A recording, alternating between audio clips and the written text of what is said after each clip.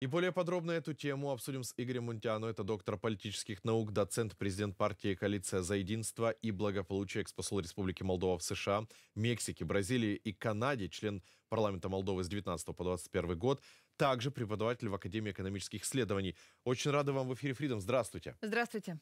Доброе утро, спасибо за приглашение. Э, спасибо, что находите время подключаться к нашему эфиру. Смотрите, вот тут очень интересный момент. Честно говоря, прогнозируемый. Как бы ни пыталась Российская Федерация, э, я отталкиваюсь от тех расследований и от э, слов самого президента Молдовы госпо, госпожи Санду касательно огромных финансовых вложений Российской Федерации через некоторых людей – и э, на распространение пророссийской агитации, э, пророссийских митингов и так далее. И это было очень ожидаемо, что Россия будет там что-либо не принимать. А какое дело в целом сейчас, если посмотреть, России до Молдовы?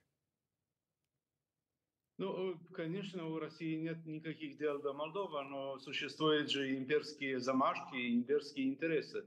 И только поэтому э, Россия еще сохраняет плацдарм для своего влияния в Приднестровье, а также финансирует э, куча своих прокси-групп, как бы их хорошо назвали, которые ждут и надеются на то, что Москва все-таки э, не только будет, э, э, скажем, наблюдать за процессом, но будет активно продвигать э, э, какой-то новый Советский Союз.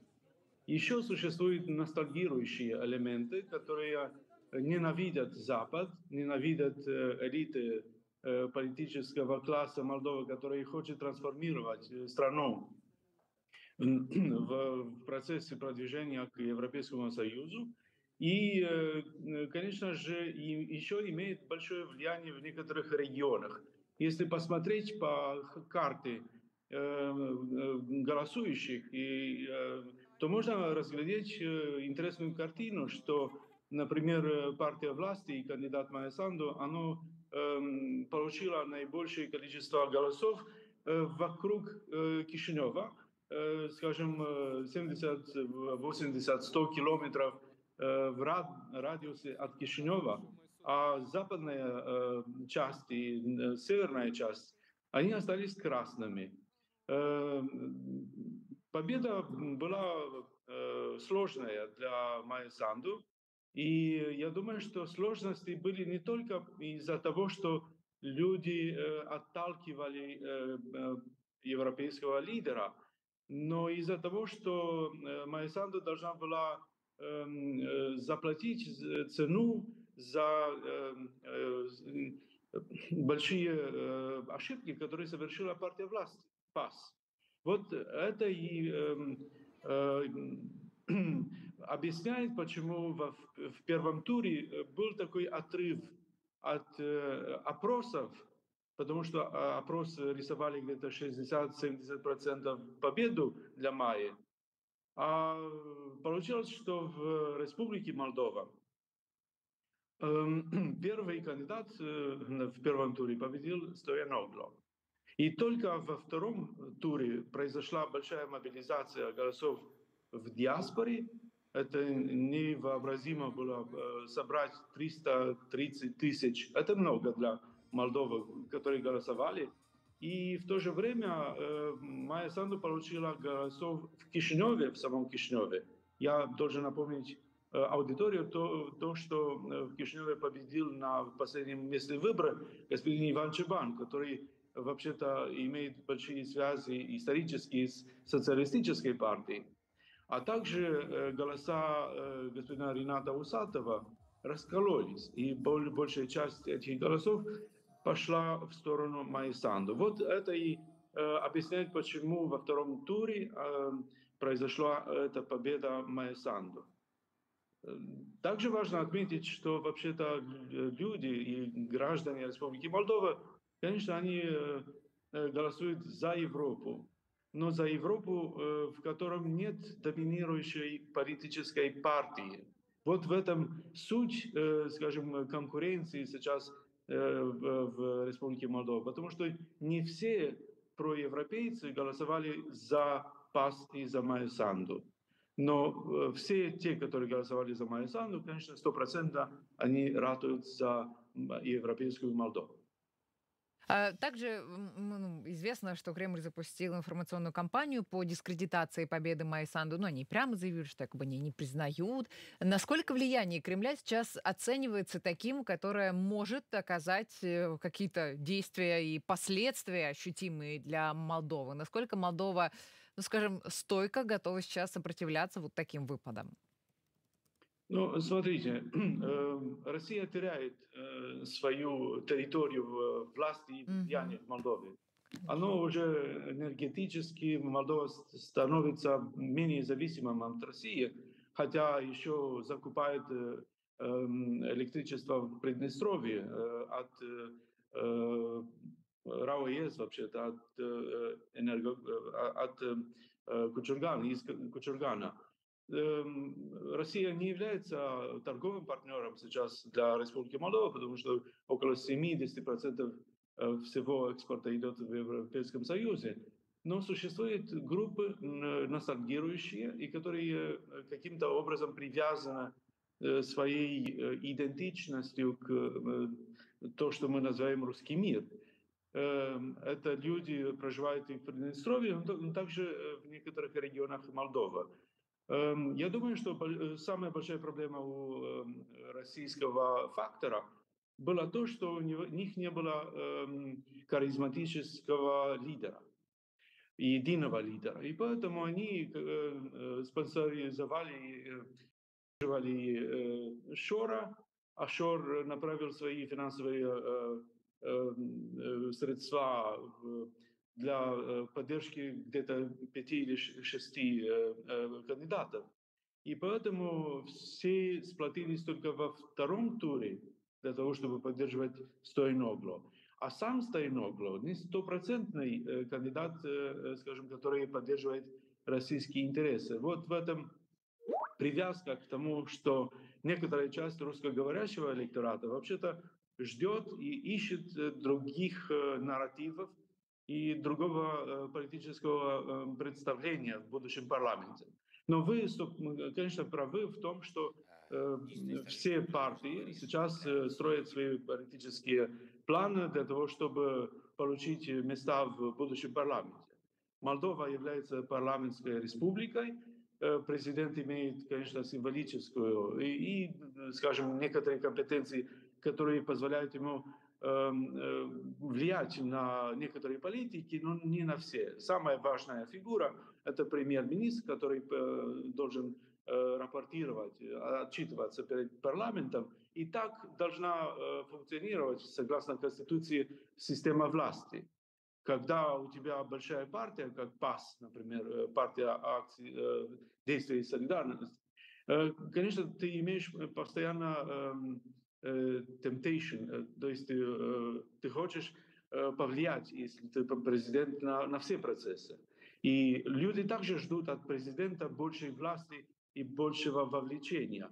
Но вообще-то премьер-министр самая важная э, фигура. И я думаю, что первые приоритеты или первые шаги, которые будет делать Майя Санду после э, официального, э, официальной реинаугурации, это смена правительства. И э, я думаю, что вторая, второй шаг – это э, политика по э, политика инклюзивности. То есть стратегия, которая вывела Майя Санду на победу в 2020 году, это была поляризация. А сейчас в Молдове нужна деполяризация. Больше политических сил и проевропейских групп, которые должны созидать проевропейскую э, Молдову. Какой сейчас может быть действенный рецепт э, стойкости для Молдовы? Вот интересная ситуация получается. В Грузии, наоборот, пытаются отстоять, что выборы были сфальсифицированы, и пытается это отстоять сторона, ну, скажем так, обобщенная. которая больше привержена к Европейскому Союзу, проевропейская страна. В Молдове же ситуация просто зеркальная. Э, та самая проевропейская сторона, опять же, очень грубо обобщаю, э, отстаивает то, что выборы были честными и что все-таки э, жители Молдовы выбрали демократию и проевропейский курс. Мы сегодня обсуждали тему в Грузии, и наш гость сказал, что в принципе он считает, что дело Грузии это не только дело Грузии, потому что если Россия усилит свое влияние на Грузию, это почувствуют еще многие страны. Что касается Молдовы, считаете ли вы, что необходима сейчас поддержка, э, скажем так, партнеров зарубежных для того, чтобы все-таки э, быть более стойкими э, по отношению к вот этих вот нападок со стороны Кремля и попыток доказать, что якобы Майя Санду нечестно победила на выборах? Ну, смотрите, мы не можем стопроцентно гарантировать то, что э, выборы прошли э, без э, запиночки, потому что были совершены многие э, эксцессы со стороны власти. Э, об этом говорит и Interim Report, то есть э, доклад, отчет, который был э, представлен OCSC ОДИР, и в котором э, назывались и причины для, для такого пренебрежения к эм, э, европейским стандартам или международным стандартам э, по свободным выборам. Это и административный ресурс, это и включение полиции во время процесса и так далее. То есть я не могу сказать, что все, которые критиковали э, избирательную кампанию или организацию выборов, они пророссийские. Но, конечно, существует нарратив – Эм, э, со стороны Кремля э, для того, чтобы делегитимизировать новую власть. Это ясно. Э, европейские партии, в том числе наша партия, коалиция по размерам Куб, эм, говорит о том, что нам многое нужно еще совершенствовать в эм, законодательстве и в практиках которые, эм, скажем, регламент, э, регулируются э, ЦИКом, Центром избиркомом. Но мы не можем добиваться, э, скажем, делегитимизации этих результатов. Результаты наяву. То, что социалисты говорят, что эм, Молдова выбрала Стояноглу, а диаспора выбрала президента Майсанду, это неправда. Все граждане Республики Молдова имеют право на выбор – и имеют право участвовать в избирательном процессе. То, что э, важно и стратегически важно, это эм, э, понимать э, урок этих выборов, понимать, что одна партия не может, эм, скажем, контролировать все в маленькой стране, как Молдова, и не может состояться, скажем, вертикаль власти в пользу и под контролем одной политической силы. Второе – это что европейский выбор – это выбор всех э, граждан Республики Молдова. Говорят англичане «no one left behind». То есть даже те, которые имеют какие-то объективные критики по отношению к процессам, скажем, трансформации и реформы в Республике Молдова, должны быть услышаны и должны быть включены процессы консультаций по приоритетам, э, скажем, администрирования и по э, реформам, которые должны проводиться в Молдове. Многие стратегические реформы в Молдове за протяжении последних четырех лет, они, э, скажем, стагнировали. То есть произошла стагнация. И реформа юстиции, и реформа образования, и э, самое важное, что экономические реформы, они застопорились. Вот для этого нужны новые силы, новые, э, скажем, э, умы и новые идеи. И только по, по, после этого и на протяжении э, следующих лет мы должны э, увидеть э, правительство Республики Молдова, которое заботится о людях и э, делает реформы, которые должна сыграть стратегическую роль в консолидации общества и в резилиенс, как говорят англичане, то есть в способность защитить себя и от внешних интервенций, и от всего советского прошлого, которое еще бытует в некоторых умах. В свою очередь, накануне Центр избирком Молдовы официально завершил подсчет голосов во втором туре президентских выборов. Победила действующая глава государства Майя Санду.